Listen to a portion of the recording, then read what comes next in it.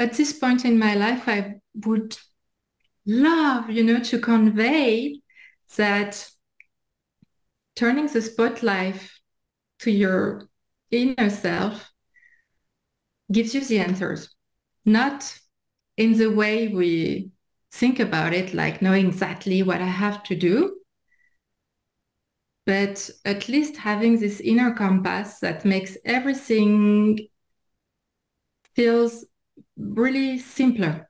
For instance, last week I had, it was a complex, shitty situation I was in, but in a way, just listening to how I felt about it, it become it became really simple. You know, I just had to take half an hour with my emotions.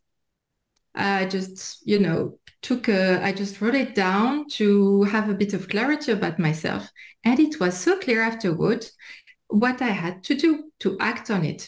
It came clear and it didn't have to go, to go through my thinking. It was just a consequence of turning the spotlight the spotlight to what's happening in, inside of me and it makes life so much simpler and then you can navigate we're talking about yeah when it comes to the dark side you know you can navigate it so much quicker so much at ease with such a confidence that i would love to convey uh, this personal lesson I, I got from life those last years because um, yeah for me life is much more vibrant easy and delightful now that uh, i learned to live this way recently. Yeah.